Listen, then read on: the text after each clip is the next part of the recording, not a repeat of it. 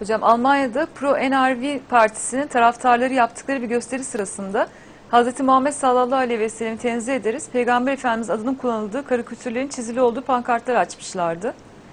O bölgenin emniyet müdürlüğü bunun üzerine gösterilerde bu tip dini değerlerimize hakaret niteliği taşıyan karikatürlerin kullanılmasının yasaklanması ilişkin başvuruda bulundu. Ancak Arnsberg İdare Mah- Mahkemesi başvuru incelerken karikatüre yasaklanmasına gerek olmadığına hükmetti. Ve hukuken bunların kullanılabilmesinin yolunu açtı. Bu karar ülkede büyük tartışma yarattı. Ne var oradaki resimde? Büyüt bakayım. Cami resmi. Cami mi? resmi hocam. Ha camiye karşıyız bulunuyor. Evet. Kardeşim aslında onlar yobaza karşılar. Evet. Bak yobazların marifeti görüyor musun? Halkı nasıl İslam'a karşı nefret eder hale getiriyorlar. Şimdi adamlarla biz bir konuşsak benim anlattıklarım anlatacaklar. Diyecek ki işte kadınlara bunlar sopayı duvara asın diyorlar. Kadınları köpekle, eşekle aynı derecede görüyorlar. Ne söylenirse tersini yapın diyorlar. Ondan sonra cehennemi onlar dolduracak diyorlar. Sokağa görmeyecek şekilde evlerde oturtun. Yemek yedirmeyin, aç bırakın. Efendim, elbise de vermeyin. Bunları diyorlar diyecek. Biz adamlara desek ki nereden çıkarttınız? Buyurun kardeşimler. Koskoca tapu gibi kitap çıkaracak. Müşrik iftiraları. Adamlar din olarak onu biliyorlar işte.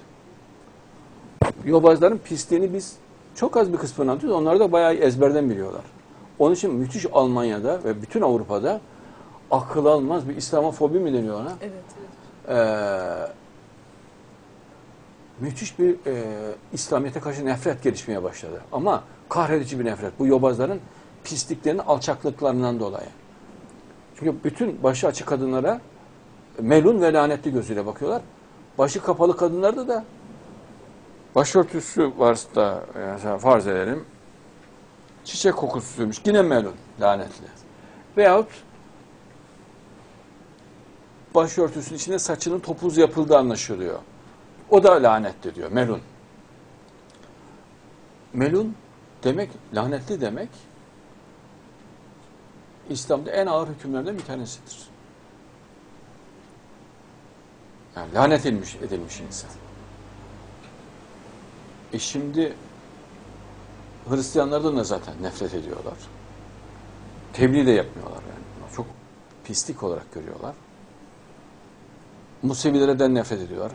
Başı açık hanımlardan nefret ediyorlar. Tıraş olan gençlerden nefret ediyorlar. Sakal tıraşı olanlardan.